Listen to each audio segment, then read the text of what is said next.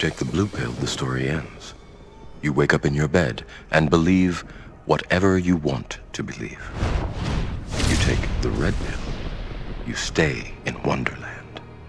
And I show you how deep the rabbit hole goes.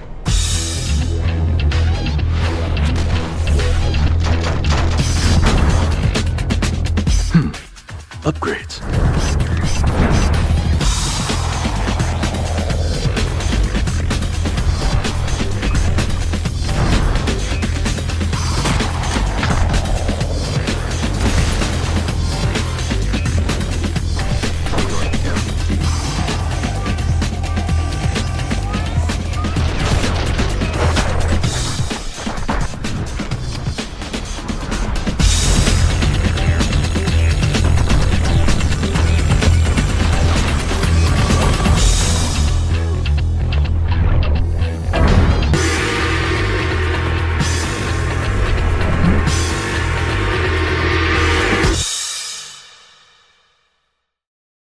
Well, the new Matrix film has just come out recently, a reboot that we never knew we needed, and one that nobody really asked for. And out of all the movies that came out this year, that was definitely one of them. But it kinda got me thinking about a video I did a few years back for Enter the Matrix, which is one of the few games based off the series that we've ever had. Which then in turn led me to reflect back on Path of Neo, another Matrix video game developed by Shiny and released way back in 2005. Not content with making one crappy Matrix game, Shiny thought they'd set out and make a second one, again with the heavy involvement of the Wachowskis. Though, unlike Enter the Matrix, which was a bit of a side piece to the second film, Path of Neo instead lets the player take on the role of the eponymous protagonist, playing through scenes from the films along with taking a few creative liberties along the way, which we'll get into soon enough. Enter the Matrix was a sloppy, rushed, and downright unfinished game with the unfortunate responsibility of having to come out around the same time as that second film to capitalize on the popularity of the series. But it was also unique because the events in the game coincided with what was happening in the movie. It wasn't necessary to play through, but it did help to flesh out the story. And it's a great example of transmedia storytelling done well. Is that right? Path of Neo, on the other hand, didn't have any kind of accompanying film to worry about, plus it came out well after the third film in 2005, at a point when most people probably didn't even care about the franchise anymore. And yet, it also still at times feels sloppy, rushed, and just downright unfinished. Show me. Now look, I do think there's a good game in there, somewhere. But then there are moments in this thing that I genuinely cannot believe made it into something that got sold as a finished product. Someone must have signed off on some of the things that made their way into this game, and it just boggles my mind. My mind is boggled. But to review this game, you've got to let the whole thing go. Fear, doubt, disbelief. So let's jack in and jack off, take that red pill and see what this whole thing's about, shall we? Now, at its core, this is pretty much just a beat 'em up first and foremost, just with a bit of shooting on the side. And I do have to say that at times, the combat in this thing is incredibly satisfying. You start off as Babe in the Woods Thomas Anderson, fighting lowly police officers in SWAT, but by the end of the game, you'll be taking on upgraded agents, even two or three at a time, and beating the crap out of swarms of Agent Smiths, picking these guys up off the ground and swinging them around like pieces of salami. The most fun I ever had in this game was going back and replaying a lot of those older levels against the agents and just playing them over and over to mess around with the combos because when the whole thing comes together and you're pulling off these lengthy button inputs, the power fantasy level this thing reaches is one of the best I've ever experienced. But that is gatekept by a whole lot of crappy content in between and just some downright janky and glitchy controls. These are issues that were prevalent in Enter the Matrix and they haven't really been rectified in Path of Neo either. Now, I first started replaying through this on the PC, and it didn't take very long before I started to realize that that probably isn't the best platform to be doing it on. Even though on the PC it runs at a high resolution, I think in some ways it's actually a worse looking version of the game. And it lacks a lot of visual effects from the Xbox, which is the one that I ended up going with. Like in one of the tutorial levels for instance, right, the Xbox version's got this pretty good looking mist effect on the ground inside this cave, but then on the PC it just lacks that effect entirely clothes on some of the characters also lack subtle effects, making the materials look flat and featureless. Whereas again on the consoles, they're a lot more visually interesting. There's no depth of field effect either, even though half the time that effect isn't calculated properly, making things just look out of focus, but still, the removal of this effect kind of makes the game look less cinematic. More than that though, just the controls. I mean, I think the PC version is way wonkier with a mouse and a keyboard versus playing it with a controller, which honestly is the patrician choice for beat 'em ups. When it comes to the shooting, the console version's got a handy lock-on system, whereas the PC has free aim. But with this thing, that's a bit of a catch-22.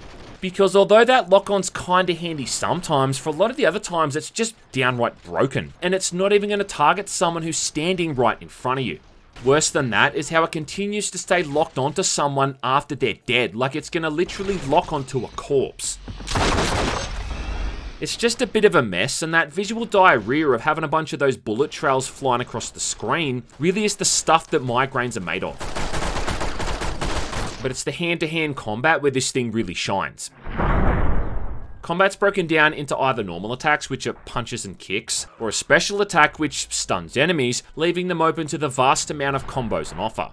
And this is where it starts to get deeper than your mum's nether regions. I mean, just as an example, right? You can launch people up into the air, you can machine gun kick or punch them in the chest, or you can pull off devastating cinematic takedowns where you introduce their face to your boot or fist. At the end of most levels, you're able to put an upgrade point into a new ability for Leo. Leo! At the end of most levels, you're able to put a new point into a new ability for Neo. Things like being able to throw someone up into the air and then slam them back down into the ground or charging up in midair and then homing in on multiple enemies. And then you can even upgrade these further throughout the campaign too. If you're surrounded by enemies, there's the ability to chain attacks between two or even three at once. And if someone's being an asshole and shooting at you, you can even strip their weapon and use it right back at them. It's actually a really impressive roster of combos and moves, and some of them look absolutely devastating. I think my favorite's that one where you punch someone a bunch of times in the chest, then launch them up into the air, keep on punching before finishing them off with a goddamn shuriken. There's apparently like this ultimate combo, aptly named The One, which requires a couple of dozen inputs. Now, I've never been able to pull this one off, but I will say though, that feeling of coming close and watching this drawn out sequence fall into place is pretty damn awesome. The only issue is that the better combos can only be pulled off if your focus meter is full, and the main way to fill this thing up again is by just landing normal hits or by finding focus pickups. And then for some reason, your health regenerates automatically, but your focus doesn't, when I mean really it should have been the other way around. Still though, this hand-to-hand -hand stuff is about as good as the game gets, which I think is in direct contrast to how they've also managed to make some of the worst possible creative choices when it comes to the campaign seeing the scenes from the movie recreated in game is definitely entertaining and half the time it's done so poorly that it's almost endearing.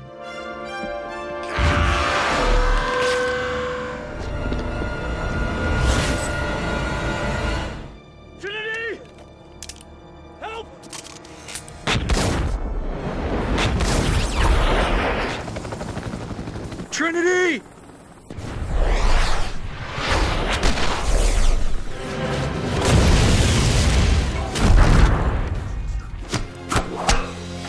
Hmm.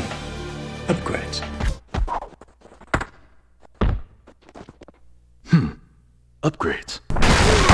But these bits aren't the issue. It's when the game tries to do something new where it often seems to suffer. I hope you're right, Captain. You see, Path of Neo just isn't a direct adaptation of the movies. I mean, it loosely follows the plot in that, but it also tries to do its own thing. I mean, even from that opening level. Right, so after an incredibly disjointed cinematic, the first level begins with Neo having to escape that office building as the agents are trying to find and arrest him. This was a fairly quick scene in the movie. I mean, it was really just supposed to show that Neo was still very much locked into the system and following the rules of the Matrix. He probably could have gotten away had he left his comfort zone and made that dangerous traversal across the ledge so that window washer's lift, but instead, he did what most people would have done and just let himself get caught.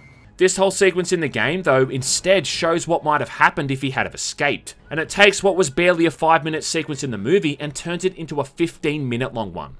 So not only do you climb out on that window ledge, but now you're shimmying along the side of the building like it's a Prince of Persia game. Getting into shoving matches with teleporting security guards, all of whom are nice enough to wait their turn before trying to grab you. Before a final on-foot chase through the building as you escape with Trinity on a motorbike. After this, you take the red pill, and Morpheus shows you how deep his rabbit hole goes, yada yada yada. And then you're subjected to what might be one of the longest tutorials of all time, and honestly, I think one of the worst. Is this better? What they've basically done here is expand upon that one scene when Neo's learning all of these new martial arts styles, drunken boxing, taekwondo, and jujitsu. I'm going to learn jujitsu. Only instead of it just being this montage of him in the chair having tank up loading everything, they've now gone ahead and made levels for each fighting style specifically. It's a series of different levels that are supposed to train you in how combat works, mostly hand to hand, but then also melee weapons like swords. And this is going to teach me kung fu. But it really just feels like a bit of a weird way for the developers to sneak in references to other films. I mean, for the first one, you're sneaking around an underground cave complex taking out bad guys, which is an obvious reference to Enter the Dragon. It's a completely challengeless series of encounters against these brain dead enemies, followed by a boss fight that's probably going to beat the absolute piss out of you, because at this point they haven't even told you how the evade button works. After that, you're in a forest area fighting a similar looking enemy with a sword, and this thing goes on even longer, with Trinity showing up at some point to help you out. Trinity. What are you doing here? Exercise. Following that, there's another sequence, this time in some sort of Japanese pagoda with a black and white film grain filter, which, I don't know, I guess is meant to emulate Akira Kurosawa films or something. Now you're following some kind of samurai ghost, being taught the basics of wall running, along with the mechanic of how to attack multiple enemies at once. And this goes on for another 5 to 10 minutes, ending with you having to fight a few different waves of enemies. Oh, but guess what? We're still not done because there's another tutorial after this. This time inside a Chinese tea house where we're fighting droves of axe wielding enemies being taught how a staff works. And this might be the most useless one of all because, as far as I can remember, you don't even fight guys with axes for the rest of the entire game. I don't even think it's right up until near the end of the campaign that you come across guys using melee weapons at all. And that's kind of my biggest issue here because all of this stuff you've just been force fed for the better part of an hour, you're not going to even be using until well into the story, around 6 or 7 hours later. It's like me asking someone to remember a number from 1 to 10, then coming back a day later and asking them what the number was after they've just had a lobotomy. What you've just said is one of the most insanely idiotic things I have ever heard. And imagine my surprise, right, when there's yet another tutorial level after this. Yeah, that's right, we're still not done because now the game's going to teach us how to use firearms. This whole level at least kind of had the right idea though. It's a reference to that awesome tea house shootout from John Woo's Hard Boiled, one of the best gun fu films of all time and no doubt a movie and a director that was a huge influence on the Wachowskis. The only problem is that this level is just absolutely dreadful and it kind of showcases just how horrendous the gunplay is. Just really made me want to go and take a shower and replay through Max Payne. So, not only is every weapon so inaccurate unless you're using focus mode, but even when you are using focus mode and shooting at someone, the feedback is so piss poor that you can't even really tell if you're hitting someone. About the only thing I like with the gunplay here is how if you get in nice and close to someone when your guns are out, you can kick them up into the air like a soccer ball and then keep firing. Or grab them by their hind legs and then slam them into the ground like a sack of potatoes. Fuck you! Finally, after this gauntlet of tutorials is done and dusted, you're in that dojo for the fight against Morpheus, one of the best scenes from the first movie. And all I could think of when I finally got to this scene was, why wasn't this the entire tutorial? I mean, they could have easily condensed all those other levels into this one sequence. I mean, if you think about it, that whole scene was basically a tutorial for Neo in the context of the movie anyway. How did I beat you? This could have been a 5 to 10 minute long level where you have to pull off each of the basic combos to progress to the next part of the fight. That way you'd be forced to learn each of the basic moves one by one. Then throughout the rest of the game, you'd get these incremental upgrades and new moves along the way, which is what they've gone and done, only they prefaced it with this incredibly boring and drawn out prologue. I was actually speaking to a mate of mine about this game and he told me that he never even bothered to finish this because of those first few levels. And you know what? I wouldn't blame anyone for having the same reaction. Honestly, it's just a perfect example of how to not introduce a player to the mechanics of the game. You know, along with starting a game set in a swamp or a sewer. You do still claim to be the ultimate gamer, right? From this point on, we're mostly locked into the scenes from the films, and realistically, you'd expect the next scene to just go straight to that lobby shootout. Instead, they've tried to flesh out Neo's journey in between that iconic moment. I mean, in the movie, it did kind of feel odd how Neo went from being a bit of a deer in the headlights to suddenly storming a building and effortlessly gunning down an entire platoon of SWAT with Trinity. Here though, it feels like that progression of his skills and abilities is handled a lot better, because they can afford to spend an extra couple of hours showing him learning new things and advancing. There's that level where you're escaping the hotel when the agents ambush you, before then having to move through the sewers with Trinity, Switch, and APOC, fighting back against the SWAT and barely surviving an encounter with an agent. Then you get to that lobby shootout, at a point when you're probably pretty comfortable with your moveset and how everything works. So the level ends up being a good combination of a combat sandbox, but also still being somewhat challenging, as you're dealing with this constant influx of enemies. It is a bit criminal that they don't have that Propellerhead song playing in the background, but yeah, look, I get it. Music licensing is a thing. Thankfully, with the magic of video editing, you can see what it might have been like.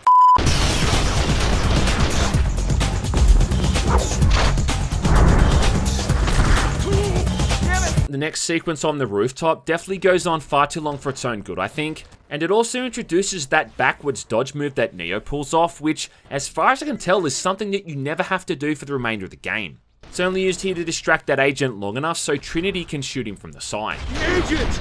Shoot the agent! What I did think was kind of odd though was when they're recreating that scene from the film, instead of Trinity saying dodge this, Dodge this. For some reason she says we don't need this. We don't need this. And all I can say there is why. I mean, why change one of the most iconic lines in the entire series? I mean, well, second most iconic line.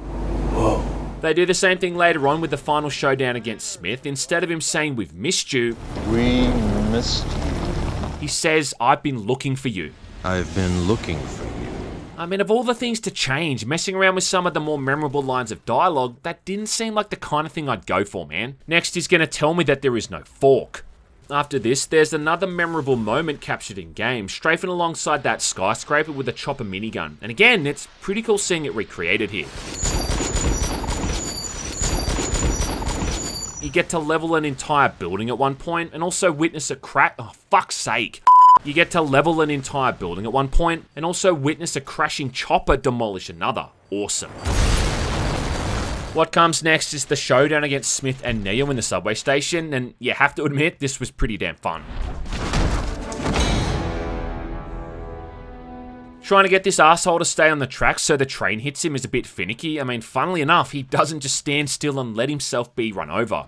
But I was having so much fun during this stage anyway that it didn't even really bother me. About the only disappointment I had at this point was again the fact that it doesn't use the music from the films. Doesn't use any of Don Davis's orchestral music, and I mean, those tracks were really what part of what made these scenes so memorable. Without them, it just kind of falls flat. Incoming train. Please stay behind the white line.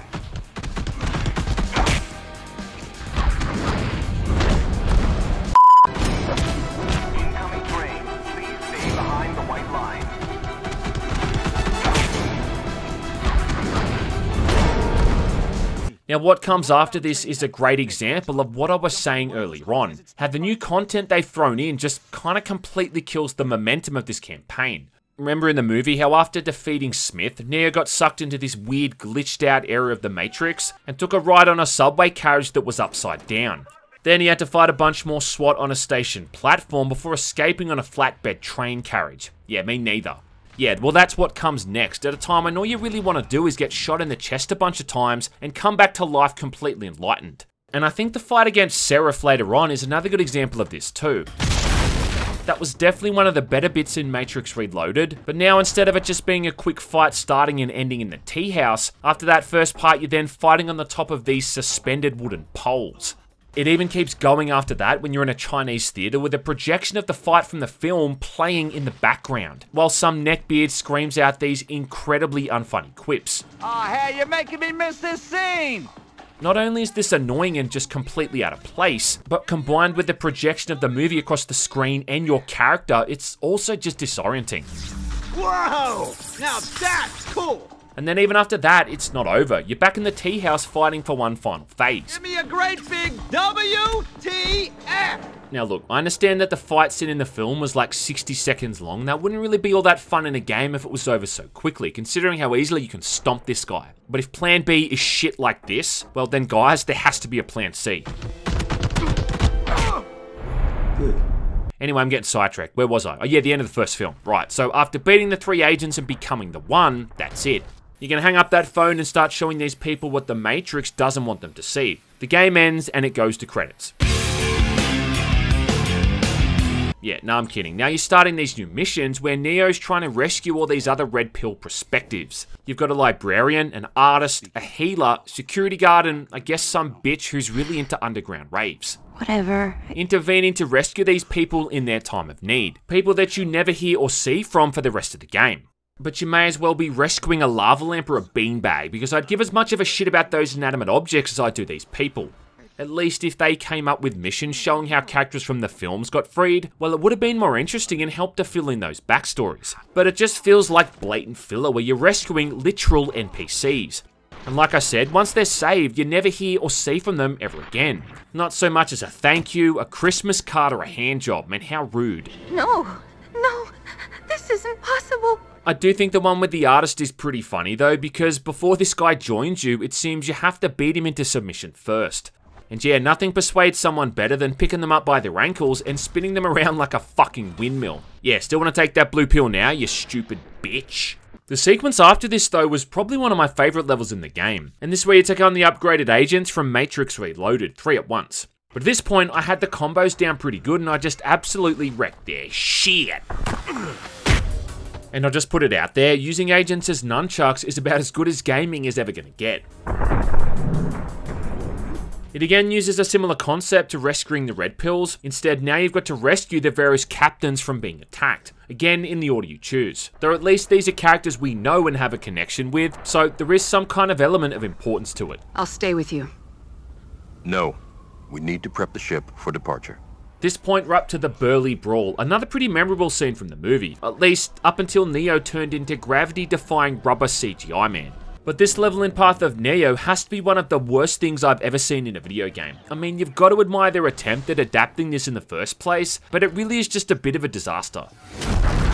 In case you don't remember this scene, it's that one where Neo gets into a fight with like a bazillion Smiths, holding out for no apparent reason until he finally remembers he can fly, at which point he just yeets out of there like he's leaving the planet entirely.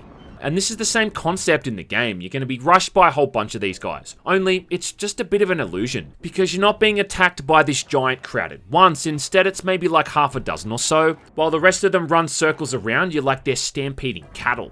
This effect just looks so bad, not to mention it breaks apart under any kind of observation, with the Smiths clipping through walls and other solid objects. Yeah, I love the way too how they circle around Neo in this bit too, like they're scurrying ants or something. Makes me sick. Makes me sick! Throughout this fight too, the flow of the combat is constantly interrupted by some kind of cutscene which is trying to copy a shot from the film. And the entire point of this level is just to beat up as many of them as you can while you wait for Neo to finally bitch out and fly away. I have to go now. My planet needs me. It's a shame they couldn't find a way to shoehorn in a level set on the highway, so it instead jumps right ahead to what I think is the best fight scene in the second film inside the Merovingian chateau. And again, this is a definite highlight of the whole campaign. It's kind of amazing how fun this game is when it just lets you fight people in an easy to navigate environment. I don't need any stupid gimmicks or objectives, just let me punch someone in the fucking face, is that too much to ask?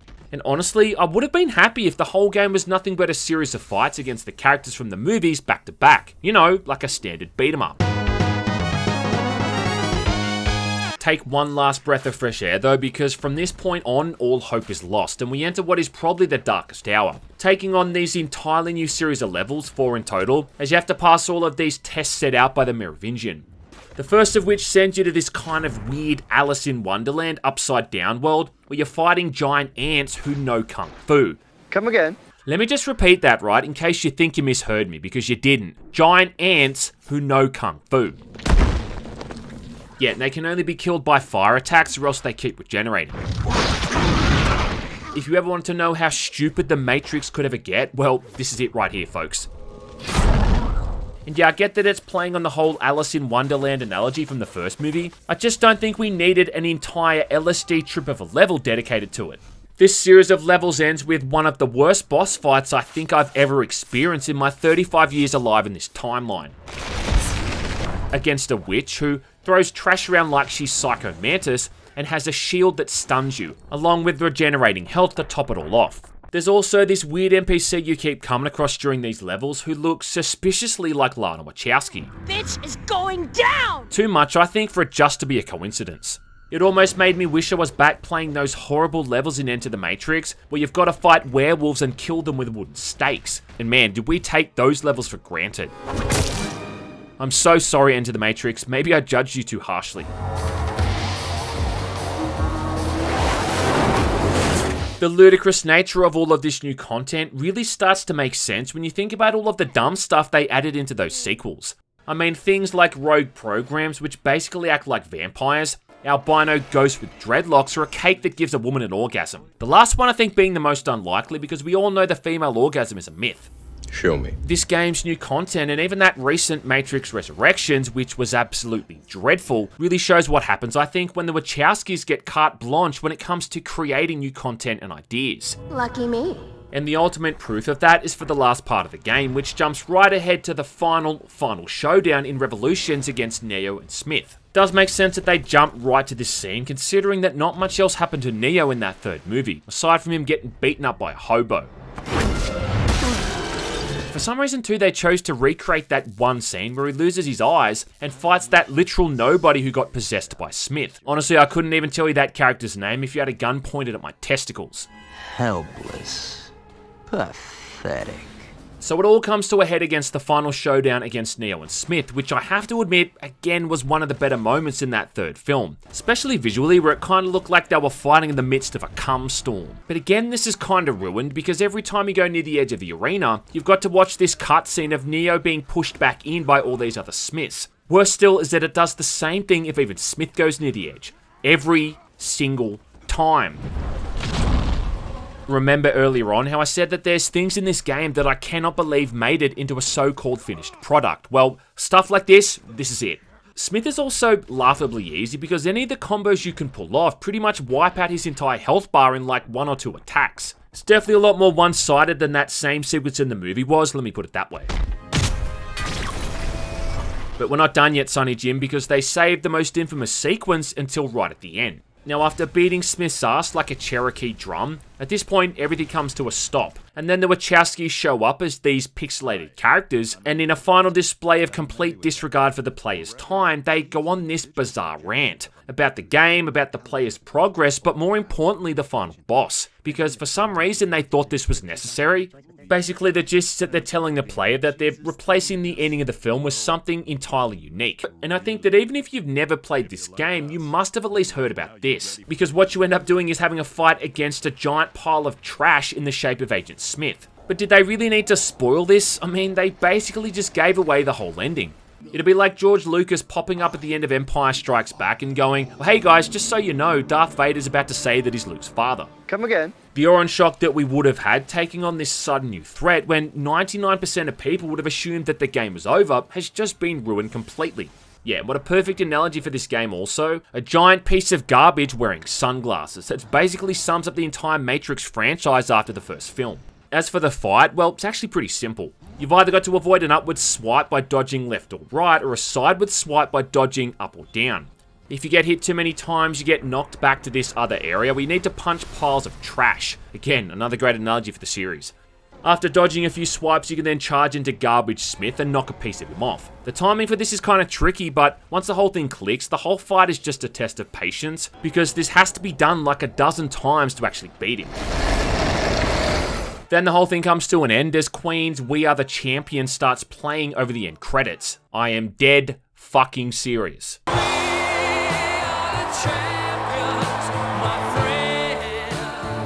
Know what, it wouldn't surprise me if they just put this song in there to check if people were still paying attention, because at this point the game's easily hit like the 10 to 12 hour mark. But more than that, all I could think of was they could somehow license a Queen song to use in the end credits, but they couldn't get Don Davis's music. That's impossible! Either way though, that's it. Path of Neo is done and dusted. You can now play around with all the various cheat codes you unlocked or go back and replay old levels, though sadly your powers don't carry over to any of these. Would have been pretty fun going back to the subway fight against Smith, for instance, and just stomping his face into the concrete like it was nothing. I don't know, man. Chalk that one up to yet again more wasted potential. You know what the craziest thing is? Is that when it comes to Matrix games, Path of Neo is still about the best we've ever gotten, which really isn't saying a lot. I don't think we'll ever see a remake of this thing or even any kind of remaster, but it will live on as this odd little technological relic, a real product of its time and a monument to what was possible back then in that era of gaming. There's worse movie-based games out there and also far better ones, but I can say with absolute confidence, as far as video games based off Neo go, this is definitely one of the best. And it sure treats the character with far more respect than this recent reboot does.